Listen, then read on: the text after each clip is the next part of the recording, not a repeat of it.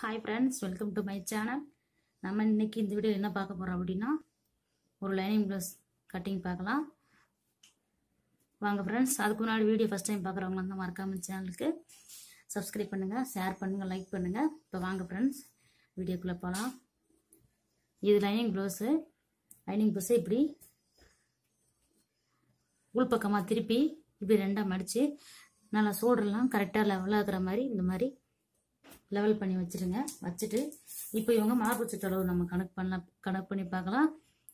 இங்கே இங்கே ஆமகோல் பாயிண்ட்லேருந்து கழுத்துக்கு கீழே வர்ற மாதிரி பாருங்கள் கழுத்துக்கு கீழே ம- கீழே வச்சு இப்போ இங்கே அளந்து அளந்தோன்னா நம்ம தையலுக்கும் சேர்த்து பாருங்க. ரொம்ப இழுக்காதீங்க. கரெக்டாக ஆம்கோல் பயந்து நம்ம கணக்கு பண்ணோம் அப்படின்னா இருபத்தி நாலரை இன்ச் வருது. இந்த இருபத்தி நாலரை இன்ச்சை நம்ம இப்போ ரெண்டாக மடித்து நம்ம பின்பக்கமாக அளவெடுக்கிறோம் பாருங்கள் இப்போ இது இருபத்தி நாலரை இன்ச் இருக்குது இப்போ நம்ம தையலுக்கும் சேர்த்து தான் நம்ம இருபத்தி நாலரை இன்ச் இருக்குது நம்ம எக்ஸ்ட்ரா வந்து தையலுக்கு விடணும்னு அவசியம் கிடையாது. இங்கே பாருங்கள் இப்போ இது இருபத்தி நாலரை இன்ச்சு இது இருபத்தி நாலரை இன்ச்சை நான் கிளாத் எப்படி போட்டுக்கிறேன்னா இங்கே பாருங்கள் இது மேல் கரப்பாக்கம் கீழும் கரப்பாக்கம் அந்த மாதிரி தான் நான் ப்ளவுஸ் போ லைனிங் நான் போட்டுக்கிறேன். இப்போ நம்ம இங்கே இங்கேருந்து மேலே கரப்பாக்கத்துலேருந்து இருபத்தி நாலரை இன்ச் கணக்கு பண்ணால் நம்மளுக்கு இங்கே வரும் இருபத்தி நாலரை இன்ச்சு நம்ம எக்ஸ்ட்ரா எதுவும் கிளாத் விடணும்னு அவசியம் கிடையாது. இப்போ நான் கட் பண்ணுறது வந்து லைனிங் பீஸ் கட் பண்ணுறேன் இப்போ ஸ்ட்ரைட்டாக இருபத்தி நாலரை இன்ச்சு கணக்கு பண்ணி ஒரு கோடை ஒன்று போட்டு எடுத்துடலாம். ஏன்னா அது கீழே வந்து ஸ்லீவுக்கு வரும். அதனால் தனியாக இருபத்தி நாலு இன்ச்சு நம்ம கட் பண்ணி எடுத்துட்டோம். எடுத்துட்டு இதை எப்படி நம்ம கணக்கு பண்ணணும் அப்படின்னா இது இப்படி கரபாகத்தை எடுத்து மறுபடியும் இப்படி மடிக்கணும்.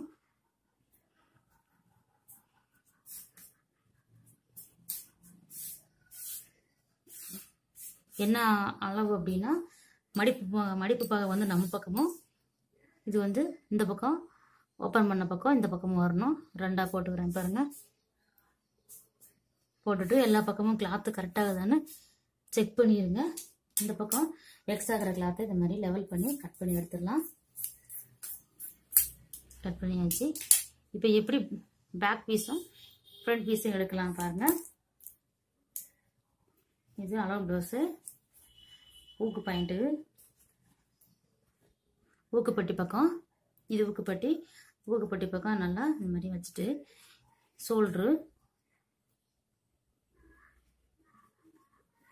சோல்ட்ரு ஜாயிண்ட்லேருந்து கீழே பட்டி ஜாயிண்ட் வரைக்கும் எவ்வளோ இருக்குன்னு பார்க்கலாம். மேலே சோல்ட்ரு ஜாயிண்ட்டு சோல்ட்ரு ஜாயிண்ட்லேருந்து கீழே நம்மளுக்கு பதிமூணு இன்ச்சு வருது.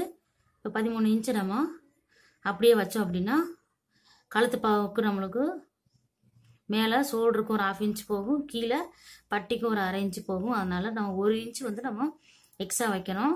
பதிமூணு இன்ச்சு இருக்குது பதிமூணு இன்ச்சில் நம்ம இங்கேருந்து கணக்கு பண்ணி ஒரு இன்ச்சு எக்ஸ்ட்ரா வச்சோம் அப்படின்னா நம்மளுக்கு பதினாலு இன்ச்சு வரும். பதினாலு இன்ச்சை இந்த பெரிய லைன் போட்டுடலாம். ஏன்னா அது வந்து ஃப்ரண்ட் பீஸ்க்கு லைன் போட்டாச்சு. இப்போ நம்ம என்ன பண்ணலாம் அப்படின்னா இந்த லைன் போட்டுக்கிற இடத்துல இருந்து கை வச்சு இந்த மாதிரி மடிச்சிருங்க. மேலே இருக்கிற பீஸ் வந்து ஃப்ரண்ட் பீஸும் கீழே இருக்கிற பீஸ் வந்து பேக் பீஸுக்கும் நம்ம கட் பண்ணி எடுத்துடலாம்.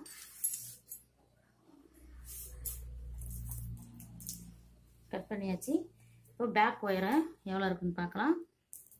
இப்போ மறுபடியும் நம்ம பின்பக்கமாக ஷோல்டர் பாயிண்ட்லேருந்து பண்ணி கீழே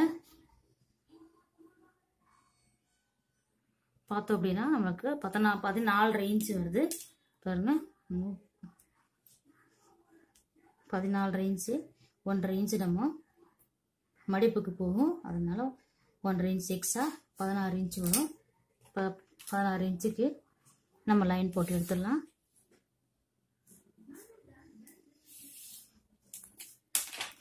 எடுத்தாச்சு. இப்போ ஷோல்டர் பாயிண்ட் எப்படி நோட் பண்ணால் ஷோல்டர் பாயிண்ட்டை ப்ளவு ப்ளஸ் அப்படியே போட்டு எடுத்துருங்க. போட்டுட்டு கரெக்டாக நம்ம ஷோல்டர் பாயிண்ட்டை மேலே பிடிச்சிக்கிட்டு இந்த மாதிரி கரெக்டாக வச்சோம் அப்படின்னா ஊக்கு பாயிண்ட் வர்ற இடத்துல இந்த மாதிரி கரெக்டாக ஷோல்டர் அளவு எங்கே இருக்குன்னு செக் பண்ணிக்கோங்க. மேலே மடிப்பு பாகத்துலேருந்து கரெக்டாக பிடிச்சிக்கிட்டு இது மாதிரி கழுத்து பீஸு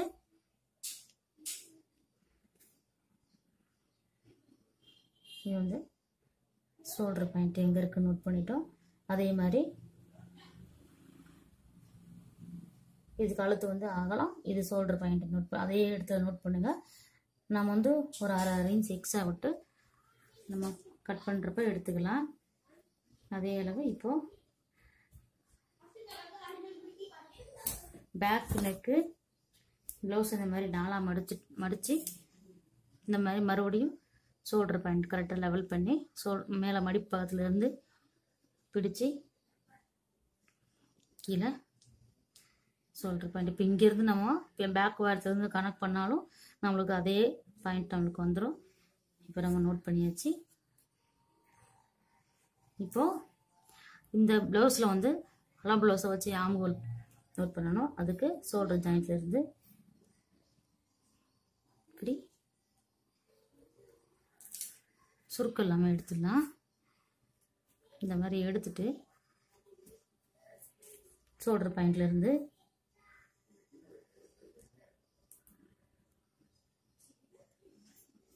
பண்ணோம்னா உங்களுக்கு ஏழு இன்ச் இருக்குது நம்ம ஏழு இன்ச்சை நோட் பண்ணிடலாம். இப்போ எல்லாத்துக்கும் ஒரு லைன் மாதிரி போட்டுடலாம். முதல்ல ஆமுகல் பாயிண்ட்டுக்கு ஒரு பீ ஒரு பாக்ஸ் மாதிரி போட்டு எடுத்துடலாம். இந்த மாதிரி கழுத்து.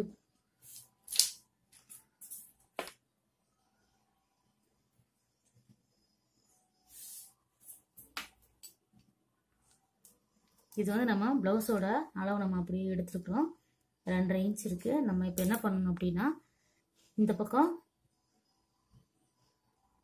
ஸ்லீவ் ஜாயிண்ட்டுக்கு ஒரு அரை இன்ச்சு விட்டுட்டு மறுபடியும் இங்கேயும் ஸ்லீவ் ஜாயிண்ட்டுக்கு ஒரு அரை இன்ச்சு விட்டுட்டு இந்த மாதிரி மார்க் பண்ணிடுங்க அதே மாதிரி இந்த பக்கம் எம்இ பீஸ்க்கு இந்த மாதிரி ஜாயின் பண்ணி எடுத்துட்டு இப்போ இங்கேருந்து நம்ம ஆமகோல் பாயிண்ட் போட்டுடலாம். இப்போ இதுலேயும்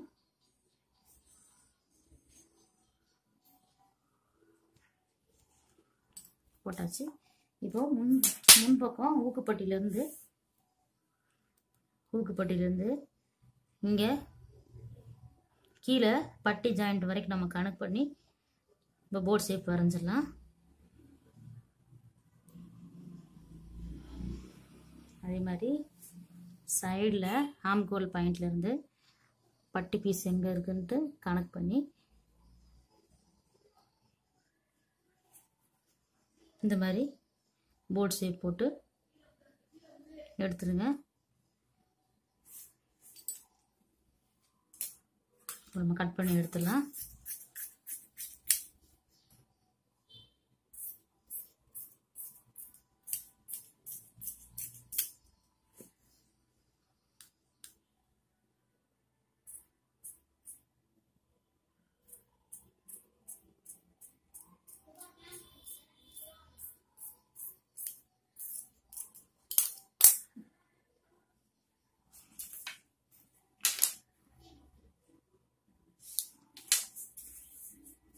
பின்பக்கம் கழுத்து அளவு.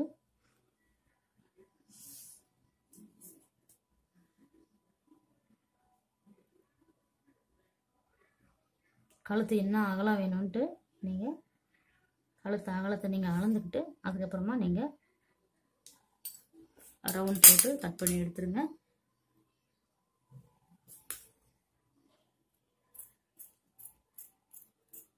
கழுத்து உங்கள் சைஸ் தான். நீங்கள் என்ன நெக் வேணுமோ நீங்கள் அதை அதே மாதிரி பார்த்து ஹெல்ப் பண்ணி எடுத்துருங்க. நான் ரவுண்ட் நெக்கே போட்டுட்டேன். இப்போ ஃப்ரண்ட் பீஸு இதை கட் பண்ணி எடுத்துடலாம். இப்போ ஆமுகோல் பாயிண்ட்டை இதை நம்ம இப்போ கட் பண்ணி எடுத்துடலாம்.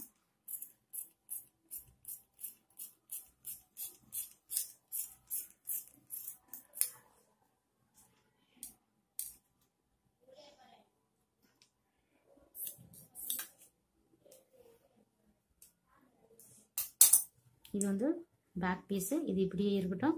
ஃப்ரண்ட்டில் மட்டும் இங்கிருந்து ஒரு அரை இன்ச்சு.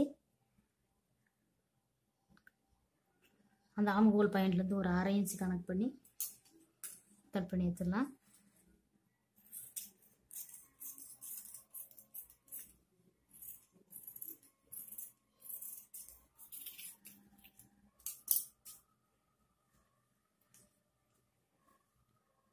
ஓகே ஃப்ரெண்ட்ஸ் இப்போ நம்ம லைனிங் கட் பண்ணிடலாம். ப்ளவுஸ் பீஸை கட் பண்ணி எடுத்துடலாம். இது வந்து புடவ புடவோட ப்ளவுஸ் பீஸு எது நல்ல பக்கம் கெட்ட பக்கம்னு பார்த்துக்கோங்க. நான் ஏற்கனவே மார்க் பண்ணி பார்த்து மார்க் பண்ணிட்டுக்கிறேன் இது வந்து நம்மளுக்கு ராங் சைடு இதை ரெண்டாக மடித்து அது மாதிரி ஸ்ட்ரெயிட் லைன் வந்திருக்கு. அந்த லைன் லைன் பிரகாரம் நீங்கள் கட் பண்ணி எடுத்துருங்க. அப்போ தான் ப்ளவுஸ் நல்லாயிருக்கும். கோடு வந்து குறுக்க வந்த மாதிரி இருந்தால் ப்ளவுஸ் நல்லா இருக்காது இது வந்து பின்பக்கம் ஒரு ஆஃப் இன்ச்சு விட்டுட்டு கட் பண்ணுங்கள்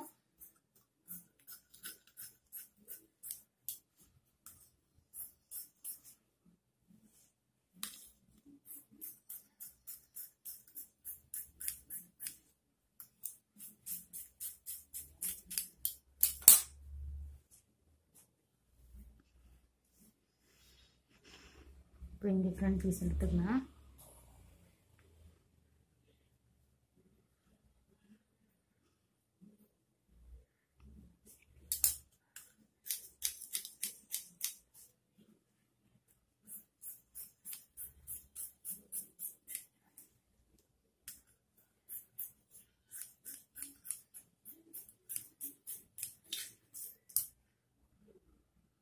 ப்ளவுஸ் கட் பண்ணுறப்பயே ரைட் சைடு எடு. எது ராங் சரி எதுன்ட்டு இது மாதிரி ப்ளஸ் பாயிண்ட் இன்ட்டு போட்டுட்டு அப்புறமா கட் பண்ணுங்கள் உங்கள் அடையாளத்துக்கு இல்லைன்னா ப்ளவுஸ் வந்து மாறிடும். இப்போ நம்ம ஸ்லீவ் வந்து இதில் ஜாயின் இதில் கட் பண்ண வேண்டாம். நம்மளுக்கு அதுக்கு இந்த மாதிரி லைனிங் கிளாத்துலேயே கட் பண்ணோம் அப்படின்னா ப்ளவு ஸ்லீவ் வந்து நம்மளுக்கு கரெக்டாக உட்காரும். நம்ம கிளாத்துலேயே நம்ம கட் பண்ணோம் அப்படின்னா சரியாக வராது. லைனிங்கை நம்ம கட் பண்ணி எடுத்துடலாம். ஸ்லீவில் ஏற்கனவே கையில் ப்ளவுஸில் பார்டர் இருக்குது அதனால் ஒரு கால் இன்ச்சு மட்டும் விட்டுட்டு இப்போ ஸ்லீவ் எடுத்துடலாம்.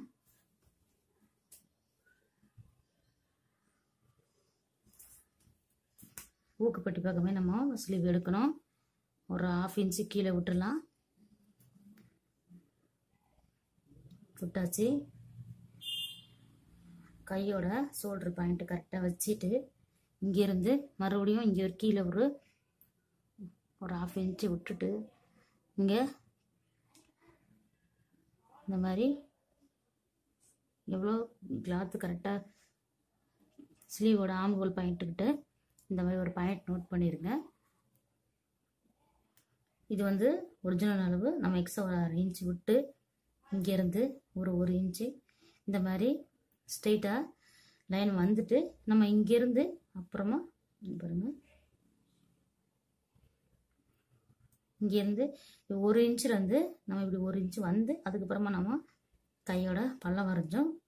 அதுக்கு முன்னாடியேவும் ஒரு முக்கால் இன்ச் வர்றப்பையும் அங்கேருந்து நம்ம பள்ள ஸ்லீவோட பள்ளம் வரைகிறதுக்கு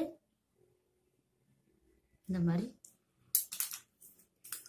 போட்டுட்டு ஸ்லீவை கட் பண்ணி எடுத்துடலாம்.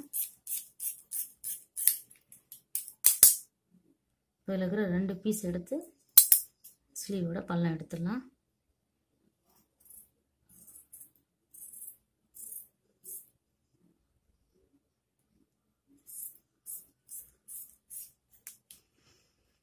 ஓகே ஃப்ரெண்ட்ஸ் இப்போ ஸ்லீவ் கட் பண்ணியாச்சு. சென்டர் பாயிண்ட் நோட் பண்ணிட்டோம். சைடையும் கட் பண்ணி எடுத்தாச்சு. நம்ம இதை வச்சு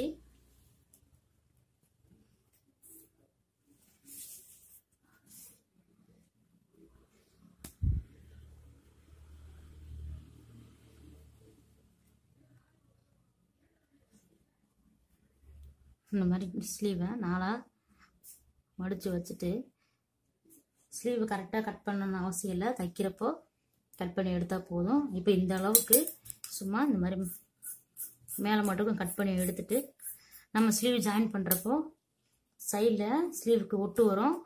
அந்த ஒட்டு பீஸ் போட்டு ஜாயின் பண்ணிவிட்டு அப்புறமா தைக்கிறப்போ ஸ்லீவ் நம்ம ஏற்றிடலாம் ஓகே ஃப்ரெண்ட்ஸ் வீடியோ பிடிச்சிருந்தா மறக்காமல் சப்ஸ்கிரைப் பண்ணுங்கள் ஷேர் பண்ணுங்கள் லைக் பண்ணுங்கள் நான் கட் பண்ண மெத்தட் உங்களுக்கு புரிஞ்சிருக்குன்னு நினைக்கிறேன். Thank you friends